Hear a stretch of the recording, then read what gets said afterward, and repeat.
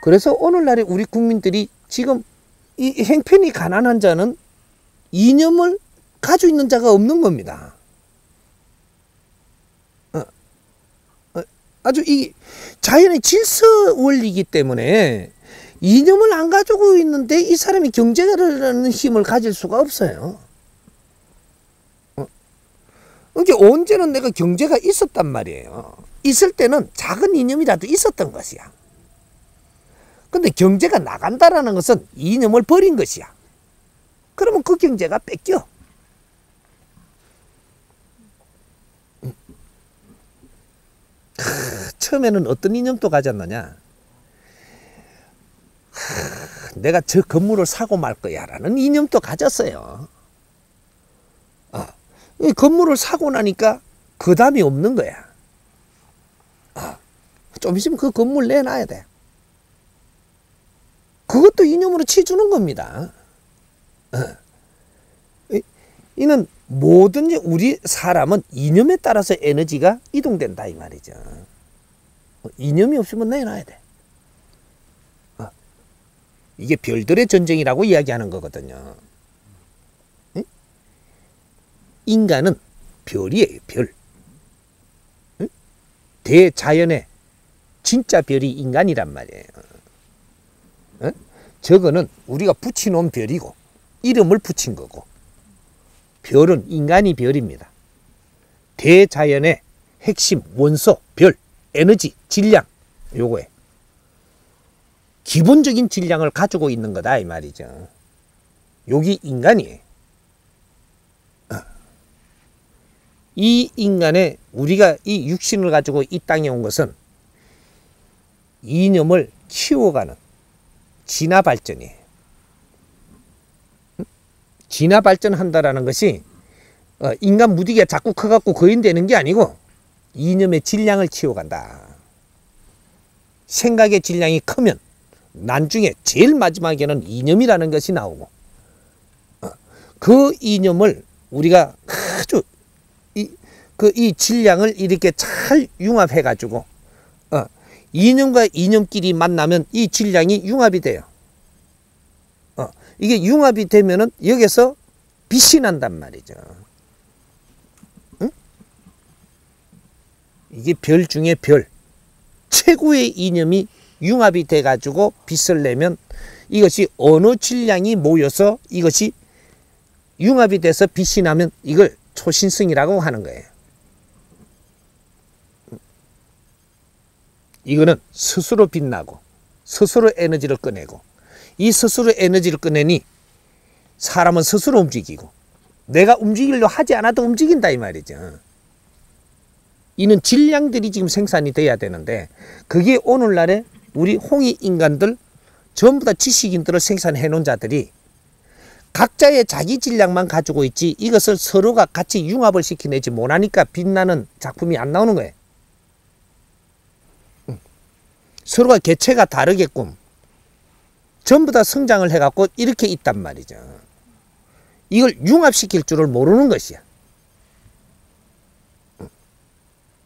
이래서 이 사회가 필요한 어, 이는 콘덴츠가 새로운 패러다임.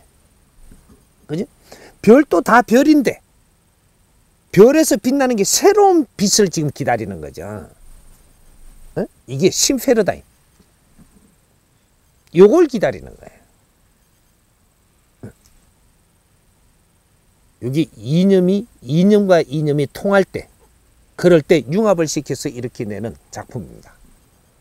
인류 사회는 지금 이걸 기다리고 있어요. 그 초신성을 생산할 수 있는 모든 기운은 이 해동 대한민국에 홍익 인간들한테 전부 다 줬다 이 말이에요. 이게 하느님의 선물인데 이게 뭔 줄 아직까지 아무도 모르는 거예요. 이 새로운 패러다임만 우리가 열어나가면 인류에 가르칠 수 있는 인류에 필요한 콘텐츠가 돼가지고 우리는 이걸 가지고 인류의 교육 사업을 해야 됩니다. 그 연구소가 해동 대한민국이 인류 미래 연구소에서 따이 말입니다. 이게 해동 대한민국에서 일어나고 있는 거예요. 어. 각 분야에 저마다 소질을 가지고 5만 이 자기 소질을 가지고 이 땅에 다 태어난 홍익 인간들. 그런 거니까 어, 우리가 어, 이념에 대해서는 앞으로 계속 공부를 할 테니까 너무 급하게 성급하게 할 필요도 없고 나는 내 각자의 내 공부를 해가지고 내가 모순되는 이는 행위들을 지금 다스리 나가는데 우리가 노력을 해라는 거죠. 이념은 당신들이 잡을라 한다고 잡아지는 게 아니고 이념은 누가 이걸 전부 다 찾아서 아리키는 것이야. 바르게 아리키니 나도 그렇게 살고 싶다라는 게 생기는 거죠. 왜? 그만한 에너지 질량이기 때문에. 바르게 아리키면 전부 다 이것이 내 삶이라는 거죠. 지금은 그런 질량으로 다 성장돼가 있기 때문에. 다른 논리를 갖고는 나를 움직일 수 없다 이 말입니다. 홍익 이념만이 나를 움직이게끔 돼 있다.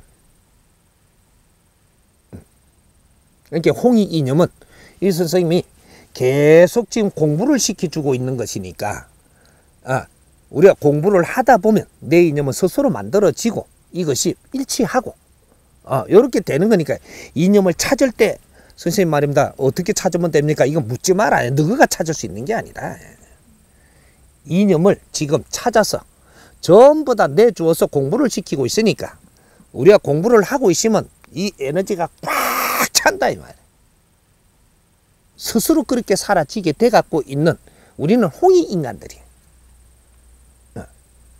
말하자면 여기가 지금 홍이 학당이 벌어지고 있다 이 말입니다. 이게 내가 홍익 학당을 벌리려고 그러니까 홍익 학당을 누가 써갖고 지금 써대. 그래서 못 열었어. 좋은 말은 어디서 다 아는지 전부 다 갖다 쓰고 있어. 내가 쓸 말이 없더라. 음. 그렇게 된 겁니다. 그러니까 어, 요거 요거는 거를 우리가 어, 지금 공부하는 거는 어, 우리가 이념을 또 토로할 그는 한 이 질량의 사람들이 또 오니까 그때 할 거는 그때 할 것이고. 어, 그러니까 우리가 지금 내가 지금 힘을 가지지 못하고 있는 사람은 내 힘을 키우는데 노력을 해야 돼.